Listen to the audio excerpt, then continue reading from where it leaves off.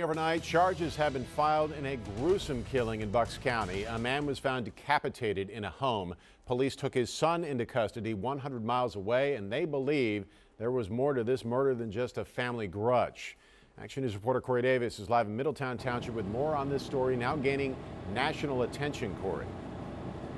Matt, good morning. This is a disturbing story, and I just spoke with one of the Middletown Township captains out here who tells me 32-year-old Justin Mohn was arraigned by video. He faced a judge by video and was denied bail earlier this morning. We are right now here at the scene where he lived. This is the 100 block of Upper Orchard Drive in Middletown Township want to show you a new photo there that we have of Justin Mohn. He is accused of not only beheading his father, but also posting the video of him committing the act to YouTube. Mohn is facing first degree murder as well as another charge that includes abuse of a corpse. Take a look at this video, a map of where he was located. We're told that he was arrested at Fort Indian Gap in Lebanon County, about 100 miles away the, there is a National Guard training base there. And on that, on the base's website, it's referred to as America's busiest National Guard training center.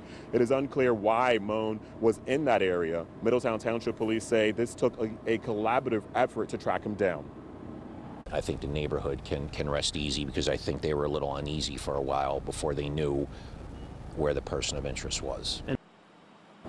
So I walk you through this. This all started around 7 o'clock last night after a gruesome discovery inside the home along the 100 block of Upper Orchard Drive here in Middletown Township.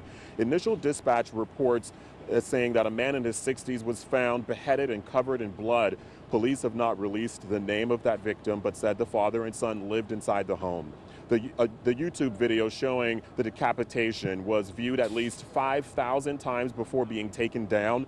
In that video, Action News discovered that Mohn referred to himself as a militia leader and called his father a traitor to the country for being a federal employee for 20 years. Mohn spoke about President Joe Biden and threatened multiple federal agencies in that YouTube video. And also, too, we've learned through court documents that his preliminary or his uh, preliminary hearing will be held next Thursday on February 8th. We will definitely stay on top of the latest developments over the course of the morning and have reached out to investigators about whether he could face additional charges. Reporting live here in Middletown Township, Corey Davis, Channel 6 Action News. Yeah, a lot to unpack there. Corey, thank you for that update.